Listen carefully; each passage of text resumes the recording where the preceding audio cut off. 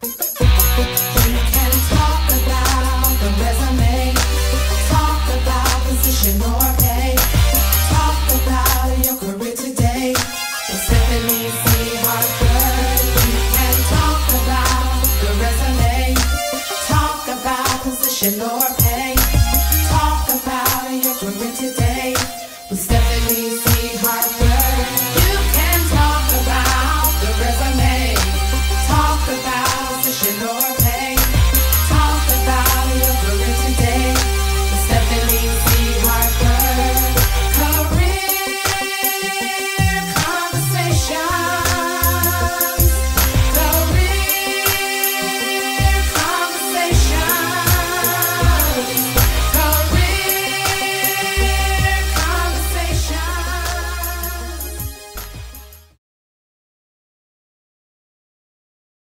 Well, good morning, everybody.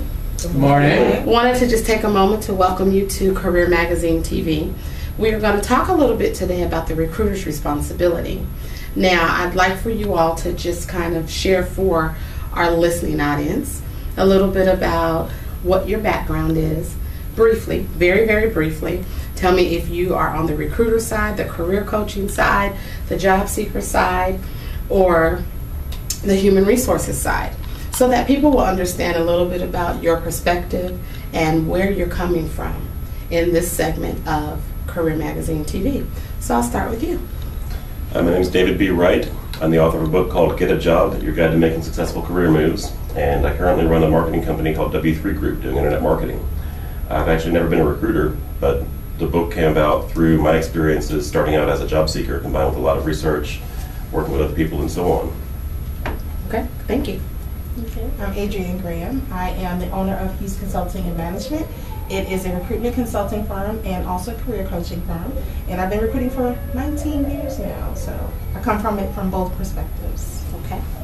My name is Tony Direcshire, and I have a consulting firm, uh, E2 LLC, and we do education consulting. And also, my background is in recruiting, and I have a master's in human resource management. Okay. My name is Kathy Troyer. I am a in HR right now. I'm currently in HR. Um, I deal um, straight from, from, an employer side, and also um, I deal a lot with recruiters. Um, so. Okay, thank you. Uh, my name is Jim Stroud. I have a background in recruiting, 10 years working for companies such as Microsoft, Google, Siemens, and MCI. I'm also a very prolific blogger, blogging about recruiting and job seeker perspectives. So I guess I come from both perspectives. And I currently publish the Hidden Job Report. Okay, well, perfect. And then, of course, you guys know I'm Stephanie C. Harper, publisher of Career Magazine. I have been in human resources for um, a little bit over 20 years, and so I've had an opportunity. My very first job was actually an administrative assistant in the HR department. So I haven't had an opportunity to work my way completely from one end of human resources to the other. So today we're going to talk about whose responsibility is it to do what in the interview process. Now, we've gone out with the Career Magazine TV cameras and we talked to people and we said, Tell me about your experiences with recruiters. Tell me about some of the things that you've gone through in the job search process as you've talked to recruiters. And the one thing that I continued to get from job seekers was, I get no feedback. So let's talk about the process. Let's say um, however you're sourcing candidates. Maybe they're coming to you from an online website, or these are um, walk in candidates, or maybe candidates that were referred to you. What do you do? Whose responsibility is it to make the first contact? Who should be the person that says, uh, hey, I want to talk to you, I don't want to talk to you? And we'll talk a little bit about you know, the process. You know, I have lots of people saying to me, oh, I've been told to go around HR. Well, I have a different perspective of that. If you go around me, then when you need me, am I really going to be willing to help you? So let's talk about at what point is it whose responsibility to do what? Let's first talk about the recruiter's responsibility to the employer. Um, I think the recruiter's responsibility to the employer is first and foremost find the qualified candidate that meets all of the uh, KSAs that are required in the job description and the needs of the actual client, which is the employer. If they can find that candidate, okay, nine times out of ten, you're not going to find that person that may have all 100% per se. What I mean by that is they may have some comparable software skills, but not that particular software skill that the client is using. But they still met the qualifications because if they can perform one software program, I'm pretty sure they can perform the one that the client is using as well. So you'll get almost like um, a DNA. You'll get a 99.98 or 99.99. That's as close as you can possibly want to try to get to 100% of finding that client for the, uh, the re- I'm sorry, the actual uh, employee for the client. Okay. Anyone else? I I think it's important um, to remember uh, from an employer perspective, uh, when your s- a recruiter is sending resumes to the employer, to not, um, to be open-minded and to be broad. I may say that I need these specific terms, but I can substitute something or some qualifications for a degree or something like that. So it's important, important to be flexible um, and not to um, disqualify someone that may be a really good candidate for the job, but not meet hundred percent of what I'm looking for. Okay. So let's kind of, I want to, both of you spoke in regards to um, not having all of the qualifications. So at what point do you say this is enough or this is not enough? Are you looking for 50% or more, 60%, 10%? Probably depends on the availability of the skills. If you've got two people that meet more than half the skills, but the rest of them are not even close, then you might have to broaden your your search parameters a little bit more. If you've got a lot of candidates that meet the skills you're looking for, then it's basically it's a buyer's market, and you can pick and choose a lot more specifically. But then it also is dictated by your rapport with your client, being the employer. Because I've dealt with recruiters before, they really didn't know their client. Mm. If you don't know who your employer client is, then you really can't decipher as far as, okay, this is a perfect candidate, or, well, she's got 75%. Knowing my client, I can still push her through So because she seems to be a quick learner. Mhm.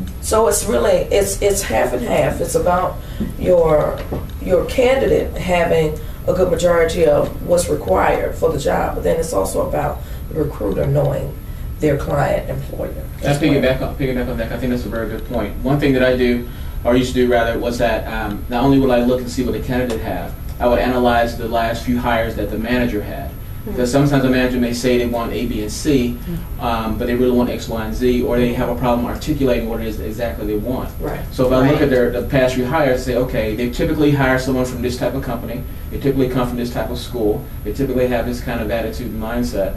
So this this is the parameter I'm going to use when I talk to the candidate. And in fact, if the candidate can sell me that they have uh, these traits that I know the hiring manager will hire on, then that's how I'm going to uh, justify pushing them forward. Well, recruitment should be having a kickoff meeting anytime a job description comes through.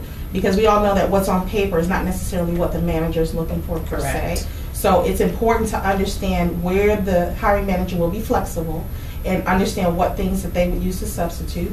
And also get a feel of the environment, the team, see what type of person fits in with that with that team, and ask the current team members and someone in the current position what would make the ideal candidate for this. Mm-hmm. And then it's from that point, it's the recruiter's responsibility to take that kind of prototype and go out there and find the right candidate. And part of that is articulating a job ad clearly over a job description. And that's where a lot of recruiters and HR people get it wrong. They cut and paste a job description into a job ad and it confuses the candidates because they'll say, well, your ad says you mm-hmm. need X amount of experience. I have that. Why am I not a fit? And it's harder for us as recruiters to come back and say, well, you don't fit because, and give them that reason because it's in black and white. But we as recruiters, recruiters didn't take the time to pare it down, make it into an ad versus a job description. So I think we mm-hmm. take the onus on, even before the candidates start applying, making sure we're presenting the proper guidelines and the proper face of the position. Okay, so then we're saying that the re, the recruiter's responsibility to the employer is to accurately represent the position, one, is to be flexible, and make sure that we are closely matching what the employer is looking for. Now, um, one of the things that was said is that sometimes the employer doesn't know what they're looking for. So at that point, how does the recruiter connect? How does the recruiter connect the dots for the employer? And I know that that's where your experience as a recruiter comes in. But for our viewers, how, you know, what happens to that person that says, well, I do have all the qualifications. You said you needed someone with five years of experience, a degree, and they can file, fax, and copy. I can do all that. Why am I not the perfect candidate? Right. So at what point do, or who goes to the job seeker, or do you go back to the employer? What What do you do at that point? You go back to the hiring manager. Okay. And make sure that you clearly understand. My managers, I chase them down. Okay. When I get a job, and it's just me. When I get a job description, I know off the bat that is not what I'm recruiting for. Okay. So I sit down and I make sure that they give me the ins and outs, personality, and everything before I even consider putting an ad out there. As a recruiter, it's my responsibility to make sure all of that is tackled so that we don't have those instances where candidates say, well, I was a fit and you didn't, you know, why am I not being selected? Then you have to understand what what's the cause for rejection and be able to articulate that to the candidates. So when they do ask and say, well, I do have this experience, you can say, well, it's not specifically this, this is what we're looking for. Right. So we have to be clear from Jump Street, and it, it means looking beyond the job description, going, sitting down with the hiring manager, sitting down with the team members in the department, and clearly getting a picture of what they're looking for. That's exactly what I was going to say. Um, in a short summary, um, when, when a client doesn't know, when the employer doesn't know exactly what the job is, and a lot of times the hiring manager has no clue Right. of what their associates are performing as far as the day to day job duties and responsibilities. So that's when, as a recruiter from the past, I would go in and actually meet with some of their regular people and say, Well, can you just tell me what you do day to day? And I would take those notes. Tell me or show me the applications that you're using. How fast were you? How fast did it take for you to learn these applications? How user friendly are these applications? It just gives me a broad sense. Okay, this is what I'm looking for.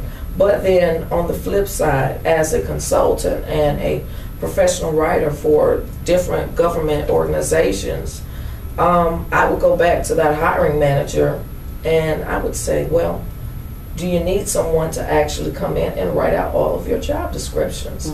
Because as a hiring manager, that's really not a good look Yeah. for you to say, I need a, I need someone for this position. Right. Well, how do you know Mhm. if you don't even know what the job description is? One, How do you know? Yeah, one thing that, that helped me in the past was um, I would interview someone who was in that role, and I would record it and make it into a podcast, and then post it online. And then on a uh, job description on, say, Monster or where have you, uh, it, at the bottom of it, it'll say, for even more information about this opportunity, click listen to this, download this podcast, and listen to an interview where I'm talking to a hiring manager or talking to a candidate currently in their role. And the person listening to that will say, oh, okay, now I can really see what's really happening. So, Right, because you don't have someone that's saying, I need this position filled. right. But if you are not aware of what the position responsibilities are, are you saying you just need the seat filled? Right. Or are you Right. saying you need the actual position filled? Mhm. And that's the difference there. So they got to know what they're looking for. So does that fall on the recruiter to, to find out what they're looking Yes. for? Well, it, it, it sort of does, and I'll say because that's the the employee is the recruiter's client, and the employee is saying, "I need someone in this position." So really, the recruiter indirectly is showing the employer, "Okay, you need this position filled. You don't just need this seat filled. You're saying I need this seat filled because it's empty now. Nobody's there." That's what you're saying as an employee if you don't know what the job is. Mm-hmm. So the recruiter is really planting both ideas into the employer's head, saying, not only do you need this position filled, but you also need these responsibilities done within this position because it may possibly be slowing down the productivity of your team or your group. Okay, so let me ask you this. So, as you were saying, it's the recruiter's responsibility, so let's say, for instance, the hiring manager. Now, we all know that some of us are um, recruiting externally, and some of us are recruiting internally. But at the same time, even if you are a current employee, that's still your internal customer. So, at what point do you say, you know what, you're not sure what you want? You know, is it ever okay to go back and say that to your Yeah. client? And at what point do you say, hey, I realize that you need someone in here by Friday, but you're really not ready to even begin the process because you don't have your foundation. You know, I can't get you the right person because you really don't know what you want. So, I think that's absolutely vital because if um, it's easy to say from my standpoint, yes, I need someone here to do something, but if I don't, I'm setting up myself up to fail if you guys just send me anybody and I'm looking at them like, okay, I need you to do something, I'm just not quite sure what yet. Right. Um, so it, it's important from an employer standpoint to be strategic in um, when hiring anybody. okay. And- So, would you say that this falls on the recruiter's head? Is this the um, human resources manager's head? One of the things when I was in corporate America, whenever I made sure that we had written job descriptions for every single position. But, you know, as you were saying, sometimes they are not exactly mirrored. Mhm. And so I made sure that we had a written job description. I gave every candidate, every person that I interviewed with, I said, This is the job description. Do you understand your responsibilities? Because, of course, later on down the line, you know, if there has to be some disciplinary action, then you're clear up front what you're walking into, et cetera. So there's another piece to that mm-hmm. part of the puzzle.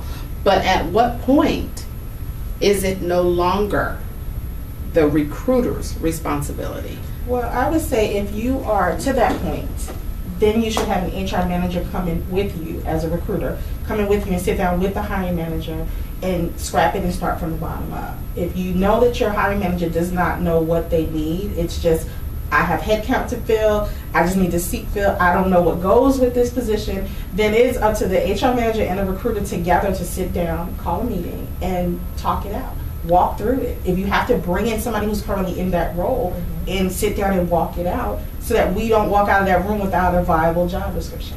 And, and you're correct on that because the hiring manager has to know, and, and this would be a question that the recruiter may discuss with their own HR manager. Well, does the hiring manager know what corporate expects from he or she? And then you have to figure out, well, from your hiring manager, who's your client, then you say, well, what's your expectations of the job you're hiring for? And once you start with those expectations, because whatever the expectations he or she has will affect the expectations that are coming from higher up that's expected for he or she position as the hiring manager. So that's definitely going to be key on the table. What are the expectations of the position? And I think that falls on the HR side of the client, not the HR side or the recruiter side. The recruiter side expectations uh, from a client standpoint, I think, would pretty much just be to find the right candidate that fits that position.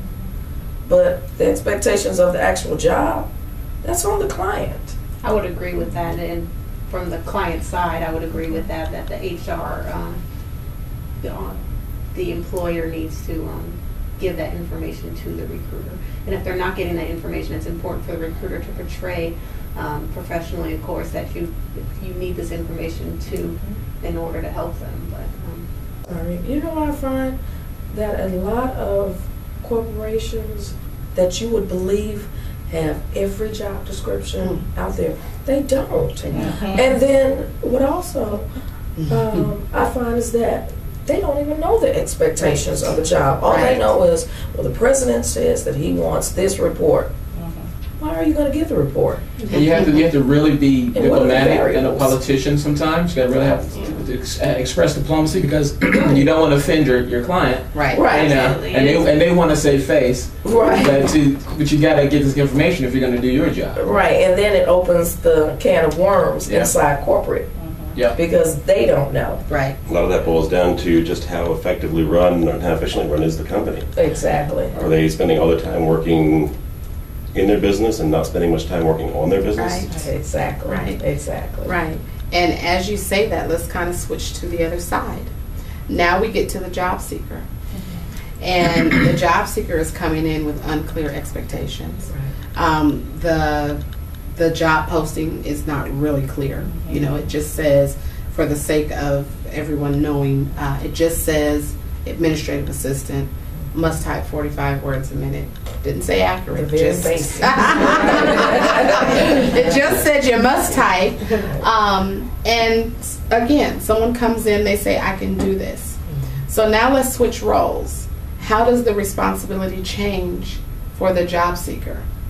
What is the job seeker's responsibility to the recruiter?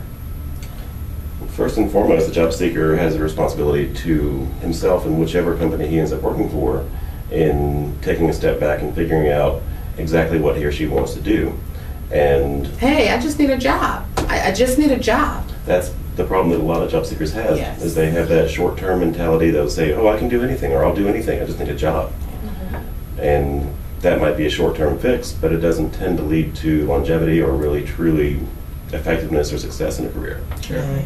And I think the point is the majority of the population is paycheck centric. Mm. As long as I'm bringing in a check, Mhm. as long as I'm punching the clock every day and being able to take care of my family, I'm good. And we need to change that perception. Okay. Now, is that recruiters' responsibility or career coaches?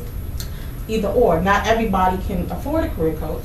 Not everybody's going to turn to a recruiter and use them as a tool or a resource Correct. as opposed to just the person that's interviewing me. That's how a lot of job seekers look at recruiters. But I find that if you if you sit down with your recruiter, whether it's an internal recruiter or a third party recruiter, they can be your strategic ally to mm-hmm. help you kind of craft your strategy and your goals and your long term plan. And unfortunately, with the economy being the way that it is, a lot of people are not on that level.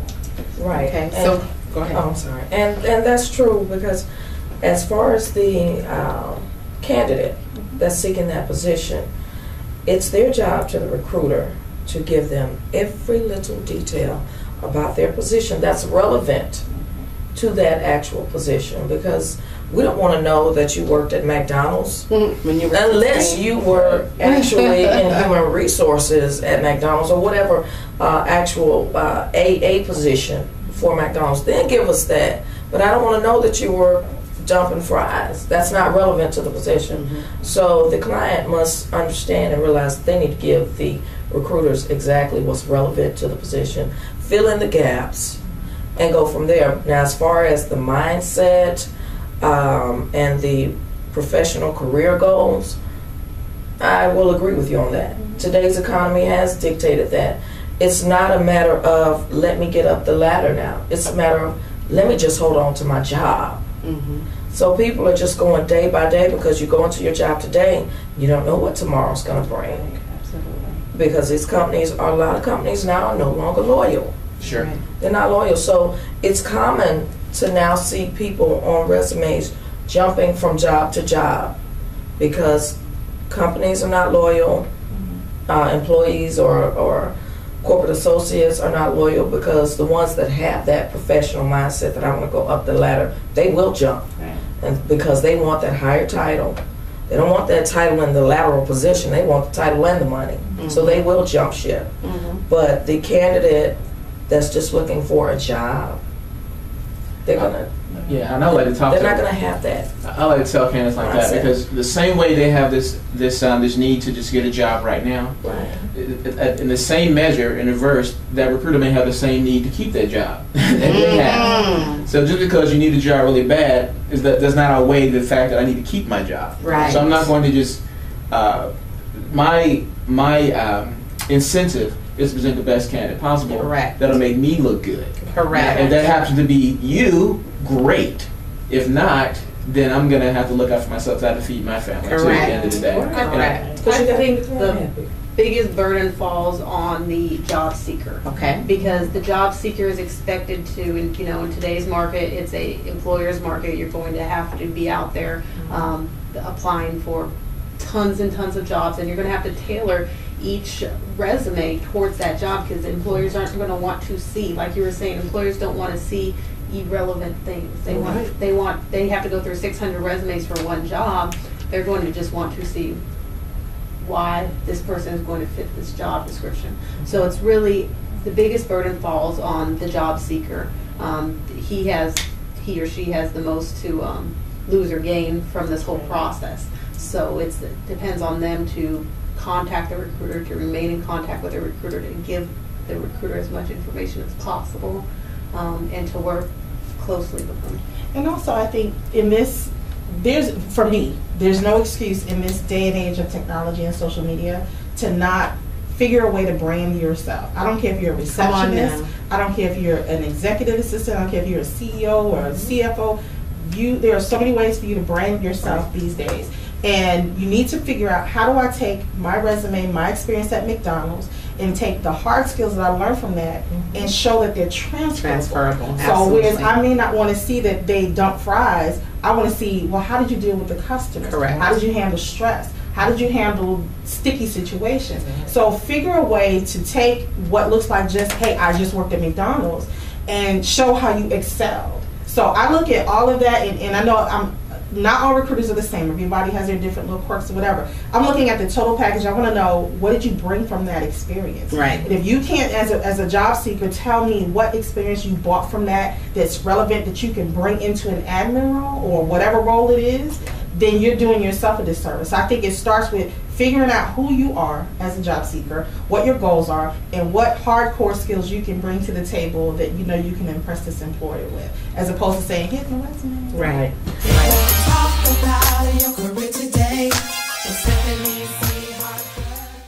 This episode of Career Magazine TV was brought to you by the Wisdom Knot and the National Association of Women Owned and Small Business Incorporated. To sponsor an episode of Career Magazine TV, give us a call at 404 604 4511.